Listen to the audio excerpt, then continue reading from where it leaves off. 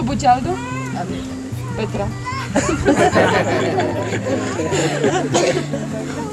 And this one? Lubu Jaldo? ስሙ ማን ነበር? ነስረድን ነስረዲን Nasradin. ነስረድ Nasradin Lubu Jaldo. And how many children do you have? ስንት ህጻናቶች አሉሽ? በላ ስንት ልጅ የሚወስየው ይሄ ፋይቭ And how do you feed the chicken? Tren natawdan wa fish. Bruška. Wa natawdan sa.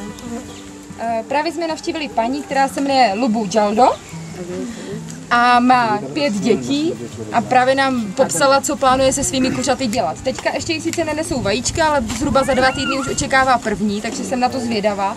A zároveň plánuje, že je ještě nechá spojit se s místníma kuřatama, pak je budou prodávat na trhu a tady tuhle vyšlechtěnou odrůdu chce si vychovávat doma a nesníst.